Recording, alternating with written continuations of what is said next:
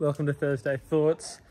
Uh, this week, a few things have happened. Um, we start off with the Cape Verde Wing Foil World Tour. It was a pretty sick event.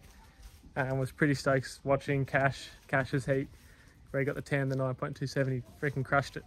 It was um, super cool and got me excited to sort of wing with straps, which I haven't really been too excited about. So winging with straps looks sick. Cash certainly made it look sick and it's definitely growth um, of the sport and progression. Super cool.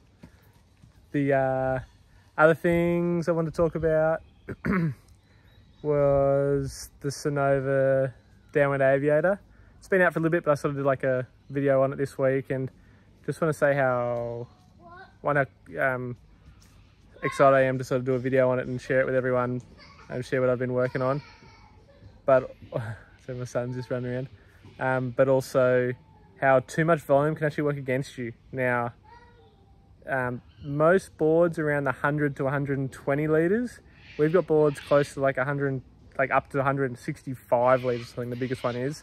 It's not meant for someone that's under 100 kilos. Realistically, 165 litre board, um, it's 8.6 by 25, is for someone over, is for someone that's 100 kilos, really. Um, for me to use that sort of board, it's actually harder in messy conditions because of the, the, the corkiness. So too much corkiness is no good.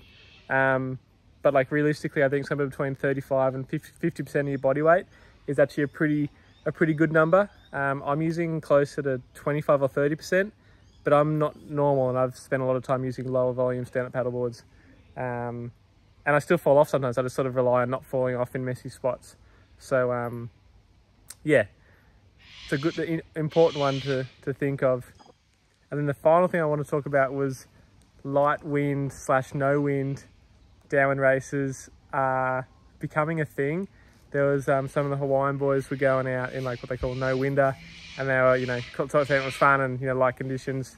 Um, but we did a race, the All the Beaches race was like, it was literally five to 10 knots. It was windier earlier, but basically what I'm seeing is more people are able to do downwinders in like residual wind bumps. Whether you like it or not, I think it's going to become a thing and it's just going to be one of the things you can do it in, you know, no wind or you can do it in honking like 30 plus knot winds. So it's making a really uh, exciting future for sports, for the sport of downwind foiling. I think it's going to be good for, basically good, good for the sport because it means you don't have to have the perfect conditions to run a race. It can happen no matter what. And like, obviously windier conditions are better but it can still be done in lighter stuff. So um, yeah, that's my Thursday thoughts for this week. Thanks for tuning in.